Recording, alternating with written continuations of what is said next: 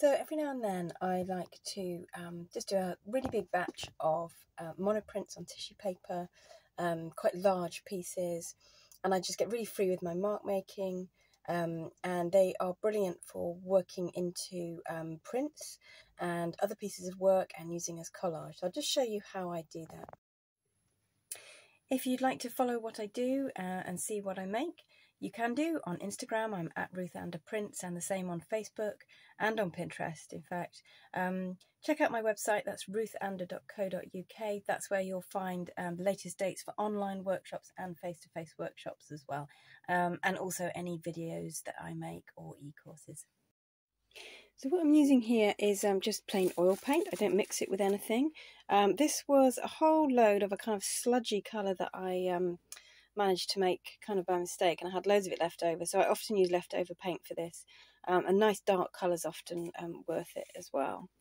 Um, and then I've got tissue paper here. Now this is archival tissue paper that I buy from a museum's preservation online shop. and it's pH neutral um, it's not coated with anything, um, and so you can. Um, it, it, has a nice soft texture on both sides of it, uh, but it's really strong as well. It also means that when you're printing, you don't have to press too hard. It will just take the ink up. And I often do dark colours. They come out really nicely. I'm just spreading a whole load of the ink, and I just use oil paint here. I don't use anything, any printmaking inks, because I'm just using thin paper I don't need um, really thick gloopy printmaking inks and I'm just making sure my roller is pretty oil free and clean as well. Oh, there's a mark on there. Now I've got on there. I don't want that. Okay. I'm just going to roll this out and I'm fairly haphazardly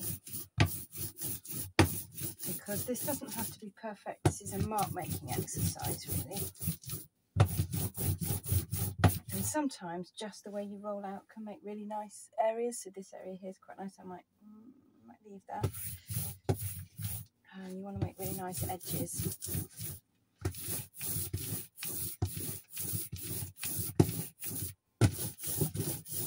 And it doesn't have to be even, particularly in fact the unevenness can be a really nice aspect to some of these sheets of monoprint.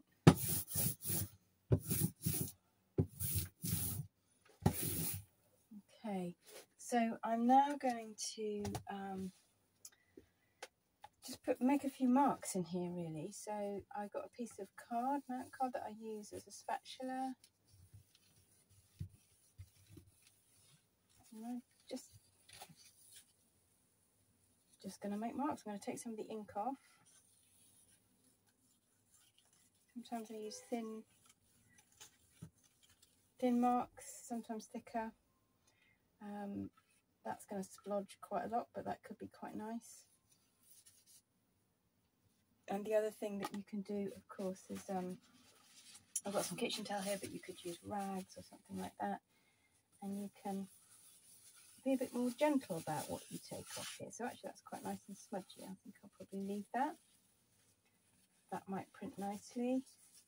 Um, and then you could make a little a little point or something a bit more substantial to take a bit more ink off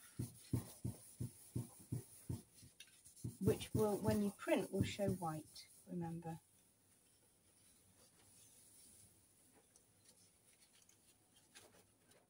So I'm not too precious about these. It's really just mark making um, and often the edges will print much nicer than you think. So that's often something that you can just leave. So I think I'm going to print that as it is I've got a really nice big piece of tissue paper here this is archival tissue I buy from a museum's um, online shop for, for preserving objects in museums but it's great because it comes in really big pieces and you can get it in a roll as well I'm just going to press down with my hands first.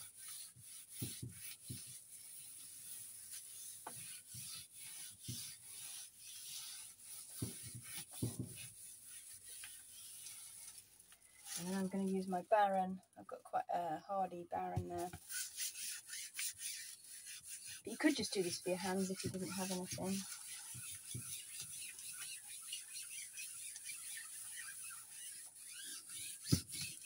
I'm just making sure that each area has been, of the paper has been pressed down into the ink so we don't miss anything. And then we peel off.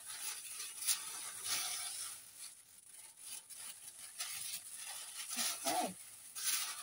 And there we've got, now see I can show this to you. Got some really nice marks here that have come out.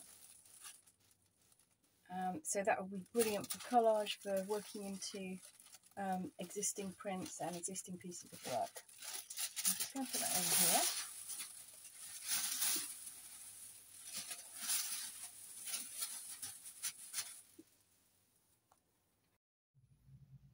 And here we are at the end of the session. Uh, I carried on and I did lots more large pieces, um, just like the one I showed you. Um, so I've got loads of different gestures and marks um, ready for collage and um, working into other pieces of work.